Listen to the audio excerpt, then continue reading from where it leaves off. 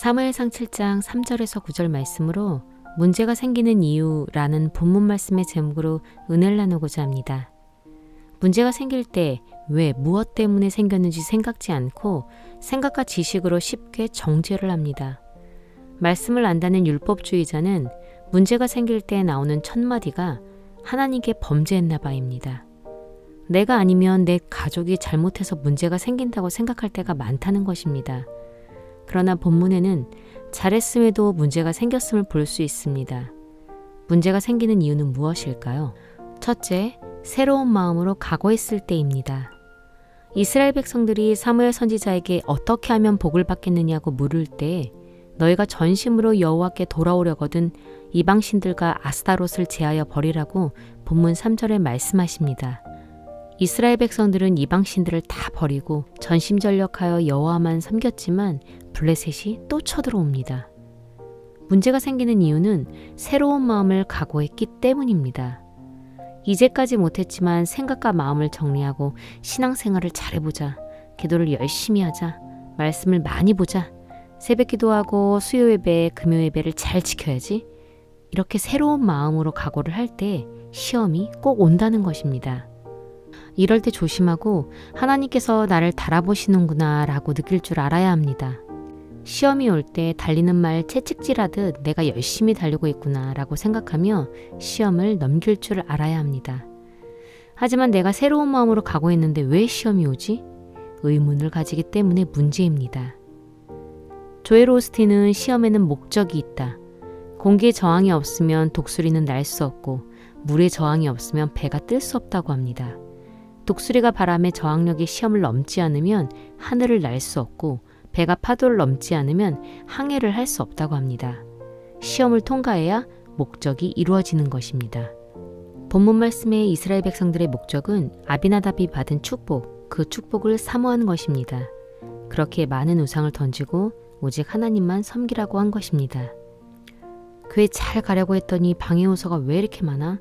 이렇게 새로운 마음을 가질 때 문제가 생길 수 있습니다.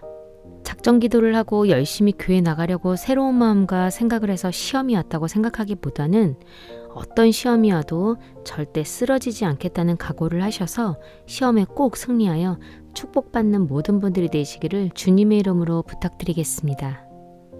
둘째는 성전에 모여 기도하고자 할 때입니다. 사무엘 선지자가 미스바로 모이라고 하니 이스라엘 백성들이 다 모여서 금식 기도까지 합니다. 악한 것들이 그 소식을 듣고 쳐들어오는 것을 볼 수 있습니다. 하나님은 믿음을 성장시키게 하기 위하여 우리에게 문제를 주십니다. 어제 문제를 해결했다고 오늘 문제가 없는 것이 아닙니다. 문제를 자꾸 접해야 믿음이 성장되는 것입니다. 성전에서 기도하고자 할 때 반드시 시험이 옵니다. 하지만 내가 기도를 하려고만 하면 시험이 오니까 기도 안 해요. 하는 사람들도 있습니다. 내가 교회 오려고만 하면 시험이 몰아치니 못 오겠다라고 하고 가버린 사람들도 있습니다. 무슨 문제가 생겼다면 그 문제를 하나님께 맡겨보지 않겠습니까? 어제보다 오늘, 오늘보다 내년이 더 나은 믿음으로 갈 줄 알아야 합니다. 본문 7절 말씀에 이스라엘 백성들이 미스바에 모여 회개 기도하고 있을 때 블레셋이 올라옵니다. 본문 8절 말씀에 블레셋이 다시 쳐들어온다는 소식을 듣고 사무엘 선지자에게 우리를 위하여 우리 하나님 여호와께 쉬지 말고 부르짖어 기도해 달라고 할 때 사무엘 선지자가 알았다 하고 기도하러 간 것이 아니라 다른 방법을 알려주십니다. 그냥 번제가 아니라 온전한 번제를 드리라는 것, 즉 예배를 드리는 방법을 알려준 것입니다. 순수한 어린 양을 바치라는 것은 첫사랑 믿음으로 돌아가라는 것입니다. 사무엘 선지자가 온전한 번제를 여호와께 드리고 부르짖었더니 응답하셨다고 본문 9절에 말씀하십니다.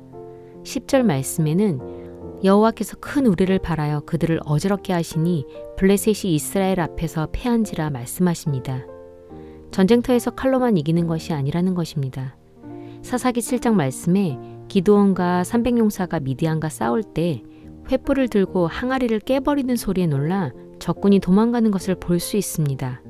하나님은 많은 방법으로 전쟁, 시험에서 승리하게 하십니다.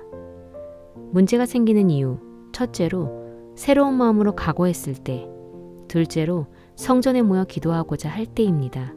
이 말씀을 꼭 머릿속에 넣고 나는 할 수 있어 라는 긍정적인 말을 해서 꼭 응답받는 모든 분들이 되시기를 주님의 이름으로 부탁드리겠습니다.